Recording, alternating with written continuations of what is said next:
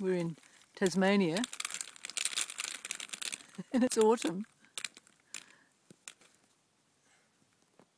And there's lots of mushrooms. Yeah, those ones, they're like the agar agaricus. Eh, They're related to the champignon Paris, the button mushroom that's wholesale everywhere. Look at them. Very heavy. Oh, look at this one. Gosh. So those ones are really beautiful because they're non-open, very big size. So what we do normally, we clean the foot of them so that you don't put the dirt inside the gill here. There's already grass here, so we try not to do that. So makes it easy to use, and then to use them, we just peel this one. See?